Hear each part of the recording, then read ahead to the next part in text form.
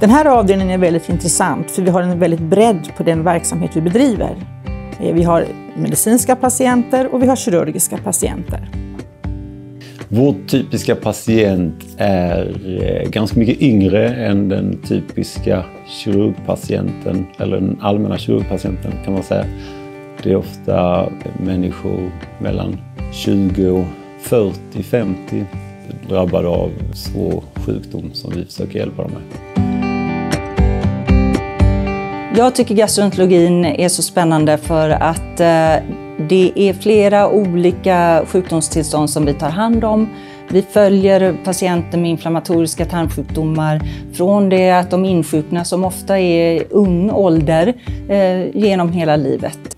Sen ingår det i eh, gastroenterologin att man också gör endoskopiska undersökningar och det har vi faktiskt möjlighet att göra här på avdelningen med sigmoideoskopier. Våra patienter är ju långtidssjuka. De är ju sjuka oftast i en sjukdom som aldrig går över.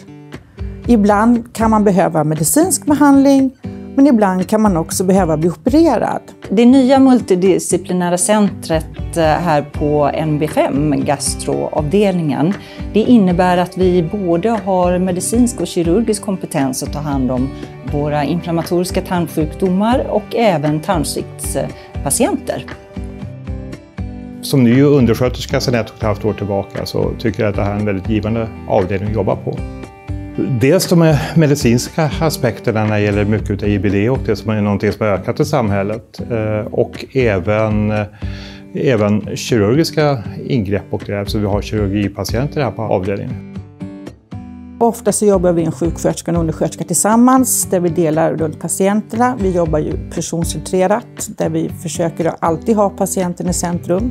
Det är svårt att få patienterna att ställa upp på sina behandlingar om de inte är med på tåget. Och det är ett prioriterat arbete för oss, för många av våra patienter har ju behandlingar som är livslånga. När man som eh, vi undersköterskor gör på avdelningen sitter med på läkarronderna tillsammans med sjuksköterskor och läkare så får man ju alltid lära sig någonting nytt. Bara att sitta och lyssna på läkarna när de diskuterar sinsemellan också, de olika diagnoserna, ger mig mycket mer kunskap än att bara vara ute på vårdgolvet. Det är en fantastisk avdelning. Det är supertrevliga arbetskamrater. Och eh, jag tycker också att arbetet mellan professionerna, läkare, sjuksköterskor och eh, även undersköterskor fungerar på ett jättebra sätt på avdelningen. Ja, framförallt är det ju bredden av verksamhet. Vi har medicin i den ändan, vi har kirurgin i den ändan. Och du har ju då avancerade medicinska patienter och sen har du den postoperativa vården. Och sen är det väldigt, väldigt trevliga patienter att ha att göra med.